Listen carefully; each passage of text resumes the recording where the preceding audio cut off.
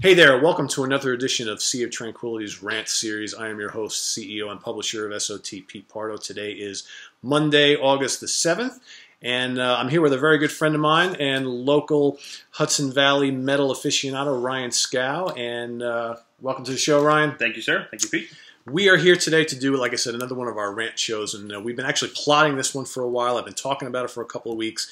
Uh, this is a, a, total Iron Maiden themed show, uh, and more there we go. And more importantly, you know, we feel very strongly. There's a reason why I asked Ryan to join this show is because we feel very strongly about how relevant Iron Maiden still are to the metal scene. Absolutely. How they're still one of the kings of uh, heavy metal the last like what 35, 40 years. And yes. There's just so many people out there who you know they discount all the music they've done over the last like 10 or 15 years. They complain about, you know, the, the set list when they tour, but, you know, this band is still drawing. Okay, still selling out large arenas, Madison Square Garden, Prudential Center in Newark, everywhere, Barclays yeah. Center in Brooklyn, two nights in a row. Yeah, I mean, we did, that's that's just here in New York. we we live in New York, and they sell it everywhere here. And the fact that they can play multiple nights at all of these different venues, which are only what like ten or fifteen miles from each other, mm-hmm. and still sell them out, right? On the same tour too. On the same tour, and you know, still sell albums. I mean, that last album was a big seller for them it was a highly rated album, reviewed album. It was one of my top favorite albums of the year uh, when it was released. Mine as well. Yeah, will absolutely love it. So you know, we're here to kind of talk a little bit about why Maiden is still so cool. Why are they? St- they're still great. And you know what? Maiden's career did not end in after the Seventh Son of the Seventh Son album, but you hear a lot of people complain about that. they're like, oh, you know, I don't listen to anything they've done since then. So I, you know, Brave New World, you know, Dance of Death I mean, all these albums are Matter just, of Life and Death. Yeah. Uh, Final Frontier personally was probably the weakest of the newer ones, the but newer still ones. a great album. Right. And then Book of Souls, I think, is excellent. I heard a lot of people say it's their best since Seventh Son. I'd probably say it's my personal favorite since Brave New World, but you know, I, I happen to like the, the, latest album quite a bit as well. And, um, you know, I, I think, and I'd like be interested to get your take on this, I think that what a lot of people seem to be having a problem with Maiden's newer music is the, the length of the songs. And maybe mm-hmm. the, it's, you know, there is a difference between 80s Maiden and Maiden of today, right? I mean, that the songs are a little longer, a little more epic, right? But it's still fucking Maiden. They had long songs back then, but yeah, it sure more like "Hallowed Be Thy Name's long, obviously. Of Ancient Mariners long. Uh, even songs like you don't feel that are long. Revelations, you know, that's a pretty long song. It doesn't feel it, but so they've always had long songs. Even like Phantom of the Opera, I think that's what hitting the six minute mark or yeah. so. Yeah, which for back then was kind of lengthy, right? You know, uh, granted, this we're talking about early '80s, right? So mm-hmm. this is past the glory era of prog rock, where you know we had 10 and 15 and 20 minute songs were fairly normal. Uh, but then we went through a period where they started shortening it up and Maiden started to push the boundaries again. So I, I just, I, I have a hard time understanding why so many people who, you know, are, they're Maiden fans, or at least they say they are, since back in the day, have such a problem with like Maiden's current material. I just, I just don't really get it. It's still Maiden to me.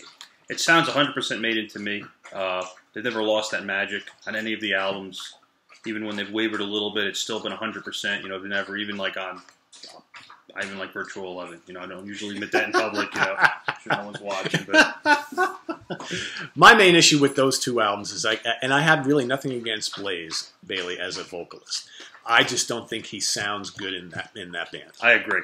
I agree. And that's you know, and even though some of the material is pretty decent on those two albums, I just I, I just have a hard time with him. With him and Myron Maiden. Right. You know, it's like, and I'm sure there are a lot of people who kind of feel that same way, and there's a lot of people who have said that in the past about, you know, Dio and Sabbath. You're used to the one voice, and then someone else comes in. Uh, Ripper Owens and Priest.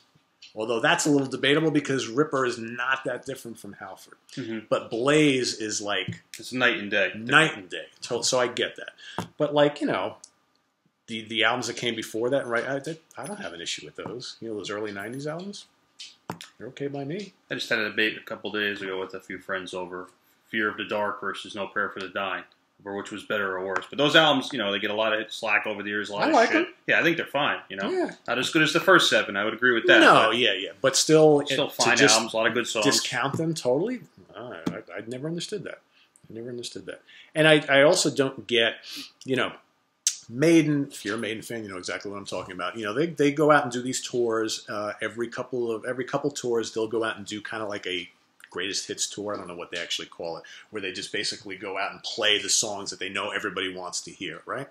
But then, like in between, they'll go out and they'll play. You know, they release a new album and they're going to go out and play a lot of the material from that album. So on Mhm. this recent tour, and I don't know if the set list differed at all. It was the same. It was Book of Souls tour pretty much from Right. last year to this year. So I So think I don't, I'm trying to remember. What did we have? Five or six new tunes in that tour? I would- at least maybe six. Okay, so six songs off the new album, which, quite frankly, at the show I saw at the Prudential Center in uh, in Newark, went over very, very well, really It went over great when I saw him uh, in Matt, on this tour. It was Prudential Center and then in uh, Barclays uh, Center in Brooklyn.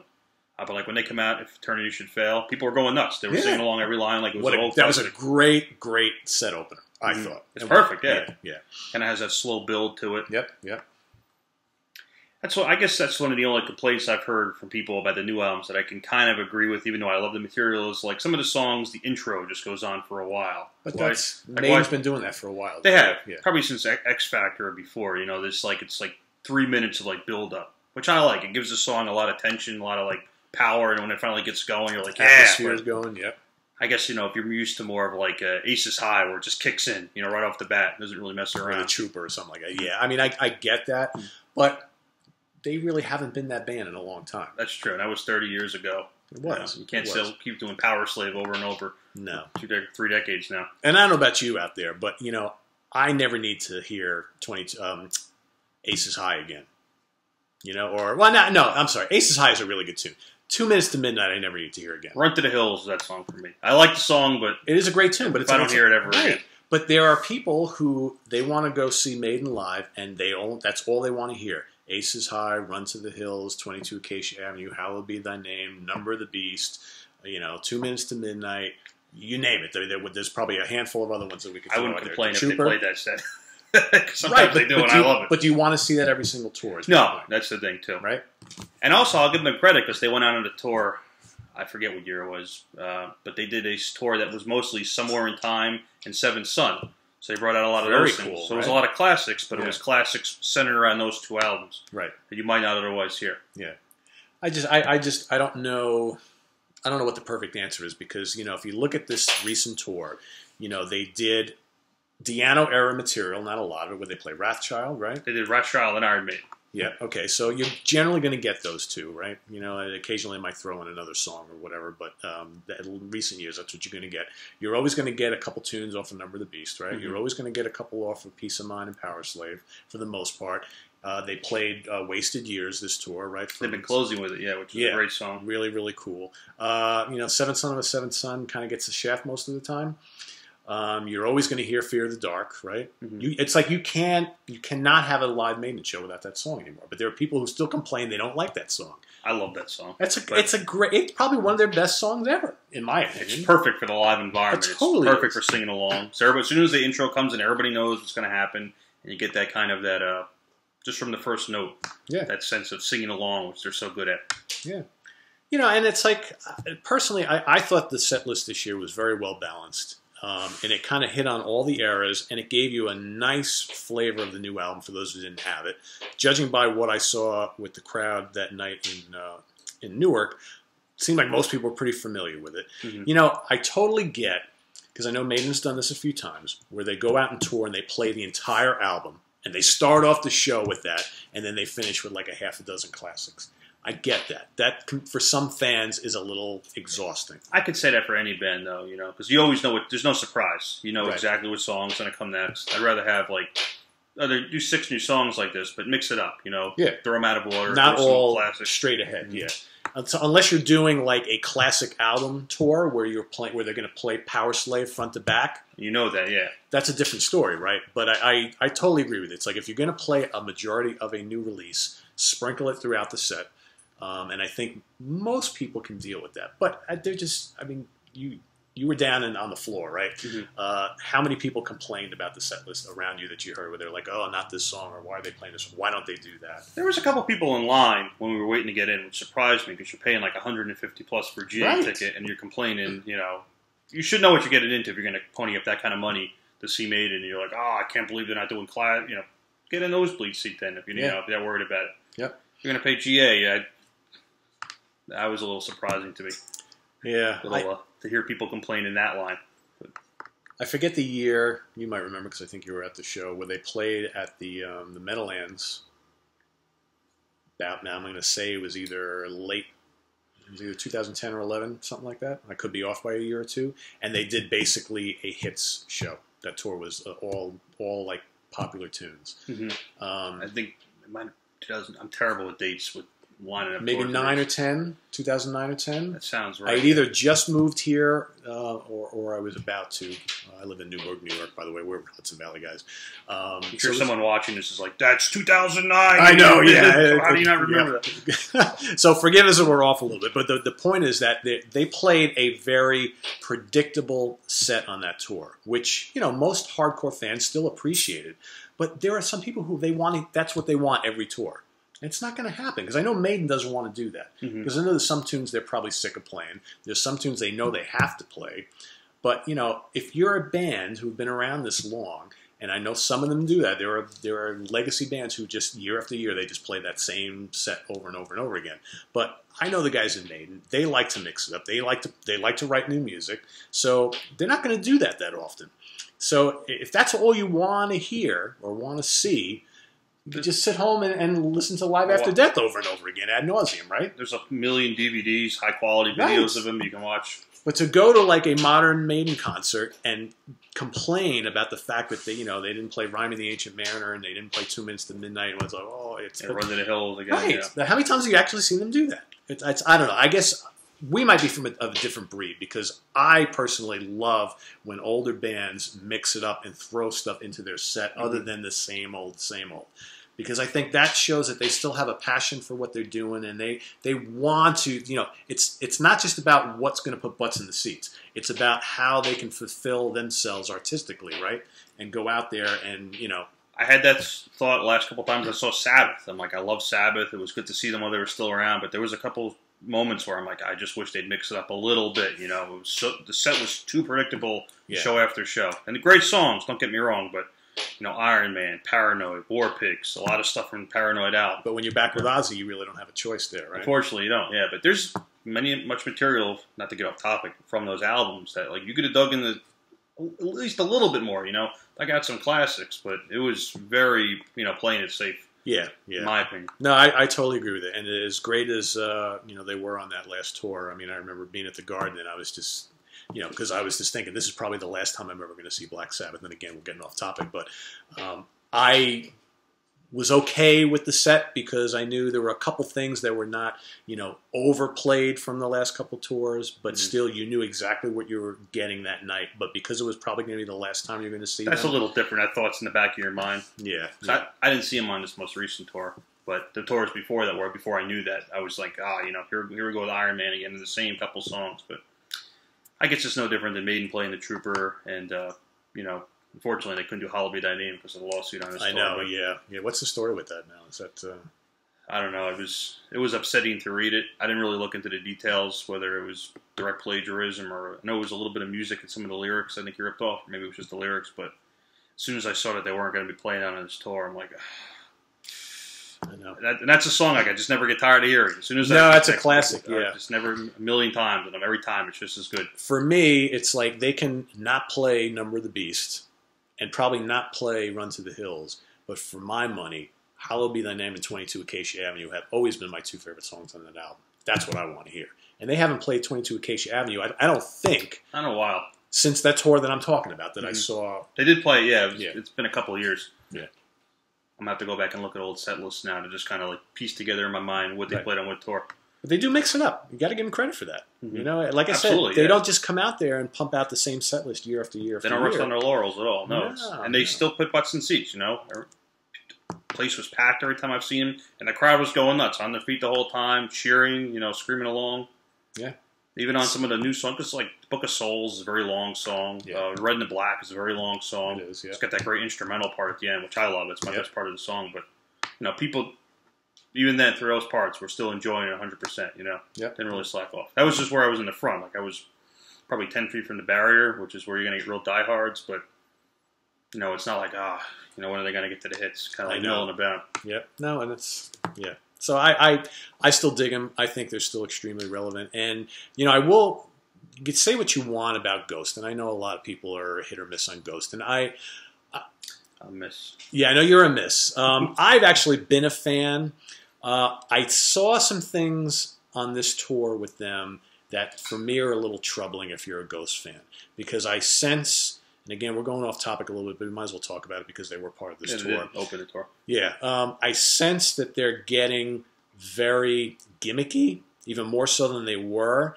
And there's this kind of whole like, I don't, I don't even really know what what to call it, like this vaudevillian, like Broadway play flamboyance that they've got going on now, which they didn't have the first couple of years they were they were in existence and just starting to hit. And I just I didn't. I mean, they were good. I thought they were good, but I expected something different, and I just think now it's it's it's Papa's band. He's He going to do everybody, yeah. Fired everybody. He's going to be this revolving door of musicians, which, quite frankly, I could give a shit about as long as the music's still good.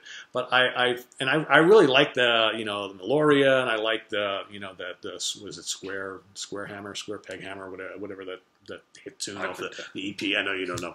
Um, they, they they kicked off the, the, the, the show with it. But anyway, uh, I just I see them going down this road that's probably going to turn them into a very poppy uh, band that all of a sudden is, is left behind because those first couple albums pretty decent. You know, uh, even if you don't like them now, you got to admit that very first Ghost album, that's kind of you know there's some serious stuff going on there. It was pretty heavy. It was very demonic. You know, and now it's like I think they're they're done with all that. They're like they've they've gotten their notice and you know they've gotten attention and they're making money now and All I can say is I saw them at Maryland Death Fest years ago when they first came to the states, and like I think it might have been their first show, and it had this vibe of you know, it, people say Blue Oyster Cult, which I don't really hear, but it had like a '70s rock vibe to it. vocal harmonies. And, that's uh, that's where I hear the Blue Oyster Cult reference. There are certain vocal harmonies on some of their songs that remind me a little of the Buck Dharma sung songs. But it, That's really it. it had a, like that over, you know, that '70s uh, tone to it. Yeah. And I watched most of their set. And on this tour, I was watching them with both shows I saw with me, and I'm watching them, and I'm like, this is like a Tim Burton movie. I'm like, he comes out once he left his uh the robes behind, he comes out with like the the suit on. I'm like, this is like watching like you know Beetlejuice or any Tim Burton It's movie. gotten very gimmicky. Yeah, it's uh, I you know like I said I, I kind of enjoyed them, but I, I just detected some stuff going on there that I'm like I just don't know where this band is going to be a year from now, and if I'm really even going to be interested. Um, but what I will give Maiden credit for is bringing a band like that on this on this tour because Maiden, the, the one knock I've had against Maiden is they they don't always bring bands. Uh, on tour with them that I've actually that I think they should be because I think you know this is an old legacy band Mhm. and you know They have Alice Cooper. yeah, true, true, but more often than not, their their choices of opening acts have been kind of like lackluster. And you know what? I think at this stage of their game, this is just my opinion, that a band like Maiden, who's going to draw huge, they're an older band, and they proclaim their love for some of the bands that are more classic era than them. Mhm. They go out there every night and they play Doctor Doctor for fuck's sake every single night. You know what? Bring UFO. Bring UFO on tour with them. Bring Saxon on tour with you. Bring Blue Oyster Cult. Blue Oyster Cult, Uriah Heep. I mean, these are bands that are dying to get in front of a bigger audience because a lot of fans have forgotten about them, or even the younger fans Mhm. who maybe don't really know them that well. still, Uriah- Heep still tours. Blue Oyster They still tours. still They'd be a great opening band. Absolutely, you know what? And it's like you know, I mean, you know, Steve Harris a couple years ago he brought his, his daughter's band with. And It's like, yeah, a lot of nepotism there. Yeah. His son's band. yeah, it's like nobody was even terrible. that. So I, I don't know. That aside, I, I've been pretty happy with uh, Maiden. One last thing before we close out. Motorhead and Dio. That was a great tour with them. Motorhead. I, remember, I didn't see that. Yeah, that, Oh, that that's a great tour. 03, and I think MSG. Yeah. So every now and then they do that, and uh, and the uh, they did a tour with Queensryche and Halford's Halford in 2000 for Brave New World. That was good too. At That the was good. That was a very good show, by the way. Um, so my the last thing I wanted to comment on and get your take on before we uh, say goodbye to everybody is uh, Janick Gers.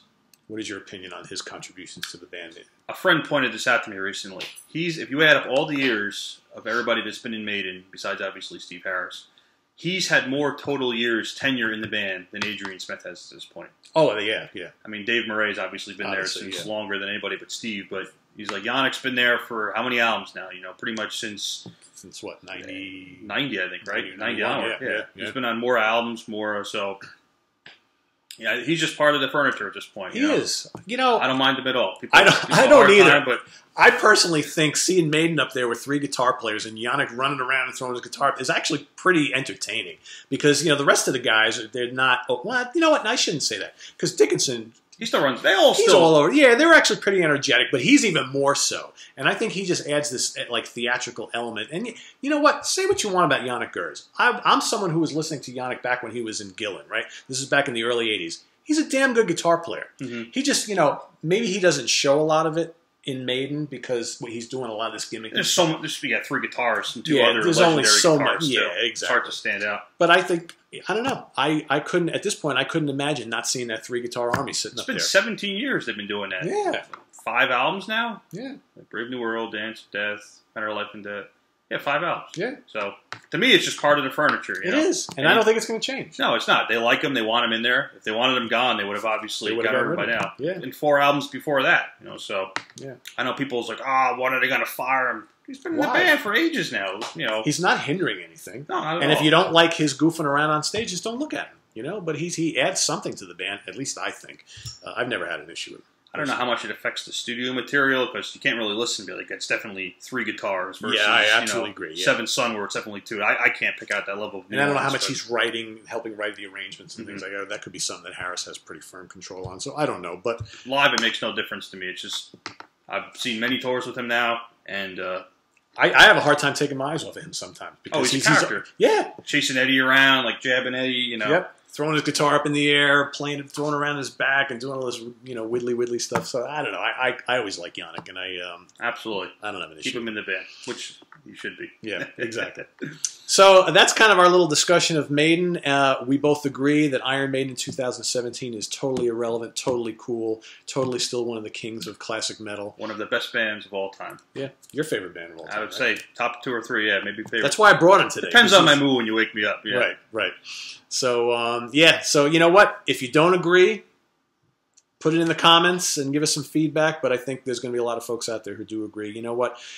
Maiden's still cool, regardless whether you like the newer material or not. Um, they're still a cool band. They still kick ass live, and for my money and for Ryan's as well, uh, their recorded output has not dipped one bit. In No. fact, they, they probably could keep doing this for years and years and years. They don't repeat themselves. They're No, not they they the don't. same album. They don't sound like they were in the '80s, but it's still, It's still it's still, it's no Maiden, still 100. percent Still tons of energy, great songs. So, so that's our take. So uh, that's our rant for today. Uh, as always, visit us on the web at www.seatranquility.org. We're on Facebook, we're on Twitter, and of course, we're here on the mighty YouTube. We've got a, uh, a brand new episode of all new stuff, uh, the What's Hot series coming up, and uh, we're going to be cooking up uh, actually another rant this coming Friday. Live from Rock Fantasy uh, for all of you local um, Hudson Valley people and or just general New Yorkers. Middletown, New York. Middletown, New York. Uh, we're going to do a little bit of rant about uh, kind of the sad state of uh, live music in the New York area because there's uh, it- it's not it's not optimal right now. Um, so we're going to talk with Steve Keeler and Ken Pierce is going to be here as well. So uh, I don't know if you're busy, you want to come down too, but I'll try to swing by. yeah, okay. Friday. sounds good. So that's what you have to look forward to. Until next time, take care. Horns up for Maiden. We'll see you next time.